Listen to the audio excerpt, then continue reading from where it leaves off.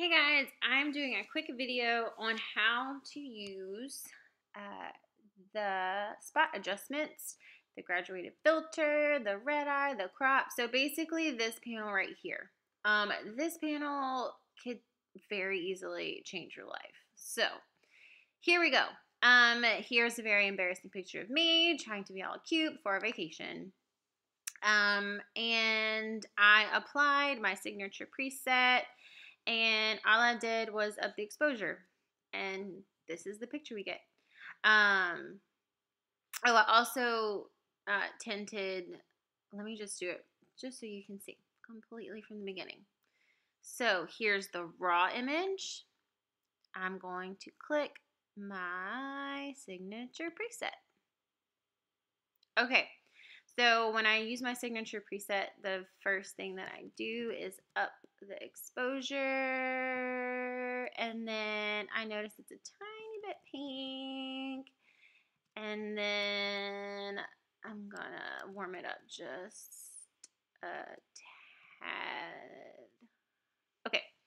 So um, here's an image that I would literally be done with. I would export it and move on with my life. But I'm going to show you, using this image, how I would use this little panel here.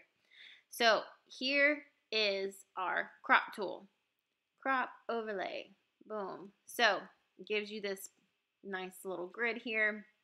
If I wanted to crop in, all I would do is move my little arrow keys and I'd crop in. That roof bothers me. And then you can also move it around, up and down. Boom, boom, boom. And then when I'm done, I'm like, okay, I look here and I'm like, oh yeah, I like that. And then I'm to just click that little crop box again and boom, we're done. Cool. So that's how you do your crop tool. Okay, so this is spot removal. This one's really cool because what it will do, um, you have two options. You can clone or heal. I use heal 90% of the time. And let me show you what this does. Okay, so do you see this little roof here? I, it, it bugs me. Like it literally, I can't look at anything else besides that. So Let's just pretend this is the crop that I want, but I want to get rid of that. So what I would do is I would move my size of the little circle as small as I can. And then I would come over here and I would do this. And then it makes whatever. So this, you see this circle? It's like, hey, whatever's in this circle, I'm to make it there. Okay. So let's say I'm like, no, I want it to be more like this. Then that looks better to me. So the roof is gone. Okay. So the that's the heal tool. Heal tool. I do this a lot with like uh, acne and stuff. So let me go back. I'm going to delete it. I literally just hit the delete key. Delete key. So let's pretend I want to use the clone tool. So watch this. Okay, so I'll click the roof. Okay, whatever's here is going to be the exact clone of in here, which actually looks a lot better. Yeah, it looks a lot cleaner. You don't see any roof after that. But watch this. What if I'm like, I want my face to be there. Not funny. You could totally do that. Oh, that's what the clone tool does. Okay, so that's not what we want. So I'm going to click it again and I'm going to move. I want more this look to be here. Actually, just kidding. I want more like that. That matches probably better. And there we go. So, um, that's how you do your spot removal tool. It's very, it comes in handy a lot, especially like whenever you're trying to, um, it's basically the Photoshop, the only Photoshop that I use um, is this little tool. Okay, so this I I've probably used only like once in my entire life. It's the red eye tool, and you know, like you just click the eye. It's supposed to get rid of it. Um, I just don't get a lot of red eye with digital cameras. That's just not something that um, I have to deal with. But it is there if you need it. Okay, this tool is the graduated filter. So this was um, this would be great for the a beach scene where you want to up the exposure on your client, but you don't want to up the exposure so that you lose the sky. So what this tool does is that okay, it it takes so I literally just dragged it from here to here and I'm going to show you like whoa, you see that? So it gradually from your start to this uh, black.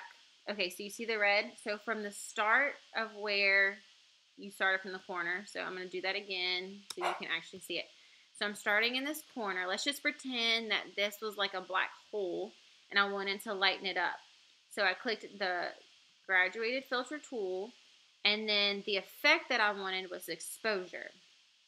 So I would take my little uh, arrow key and I would, oh, did it.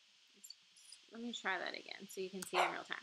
Okay, so graduated filter, the effect I wanted was exposure. I'm to show you the exposure all the way up so that you can see what it does in real time. And I can move it all around. Okay, so in that beach picture that you had, you wanted, let me erase this. You wanted the sky to not be affected by exposure. So what you could do is you can click graduated filter, click exposure, and then start from the bottom. And so like the sand and your clients wouldn't be that white, but maybe just a little bit lighter but the sky would stay the same. So this is not being affected, just what's in your graduated filter. Um, so uh, this tool is, really comes in handy whenever you just want part of the picture one way. Um, so yeah, I think um, I use this one. I honestly rarely use this one, but um, it does come in handy when you need it. Okay, so the radial filter, this one is really cool because um, you can, so I do this a lot on like bouquets or a person that is um, not in an ideal bright location. Um, let me show you what I do. Okay, so here's what the um, radial filter does. It makes a circle.